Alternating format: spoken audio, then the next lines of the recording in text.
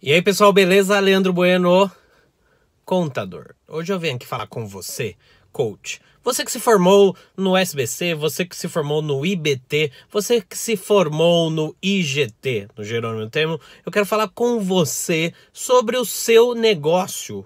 Você está regular perante o fisco? Você está emitindo as notas devidas aí para os seus coaches através da sua consultoria? Acompanhe esse vídeo aí.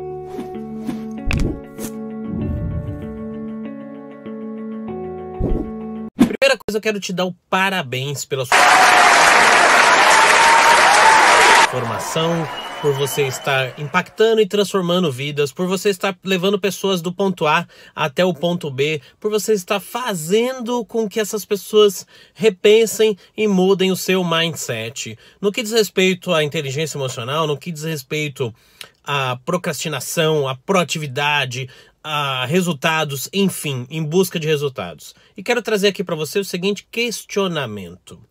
Você tem um processo com o seu coach, você dá um treinamento é, para um grupo de pessoas, você desenvolve todos esses trabalhos, entra dinheiro na sua conta, você ainda está tratando como pessoa física não regularizou toda essa parte ainda.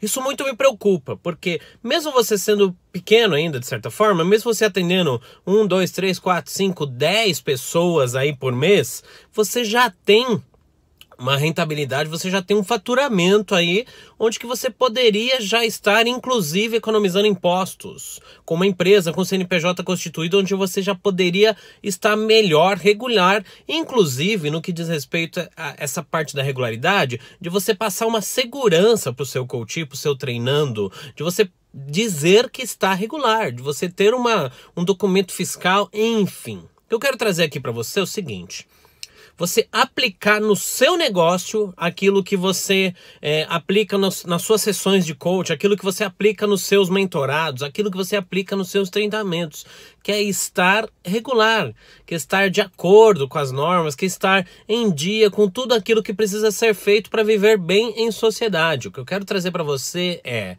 não custa caro, muito menos do que você imagina, estar regular perante o fisco. E o que, que você tem além disso de propriamente dito, de estar regular perante o fisco. Você tem possibilidade de prestar serviços, por exemplo, B2B, pessoa jurídica para pessoa jurídica. Você tem possibilidade de crescimento, de aumento de faturamento e principalmente dar segurança jurídica para o seu negócio. Você pode fazer um contrato com o seu coach de pessoa jurídica para pessoa física, tem mais veracidade, valor. Você tem mais valor para entregar para esse seu coach. Então quero trazer aqui para você a reflexão. Abra sua empresa, regularize e comece a emitir notas. Porque começando a emitir nota, você tem como cobrar o seu coach caso haja alguma inadimplência, você tem como, inclusive, é, é, entrar com uma ação reclamatória contra ele no que diz respeito a uma ação civil, né, de cobrança.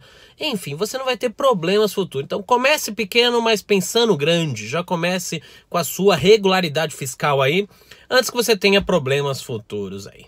Esse é o recado que eu queria dar para você, coach. Gostou desse vídeo? Curte, comenta, compartilha, manda para todos os coaches do Brasil que vocês conhecem aí. Parabéns, continue transformando. Aliás, escreve aqui, digita aqui embaixo aqui, que eu quero fazer um, um curso de coach ano que vem. Qual que você recomenda?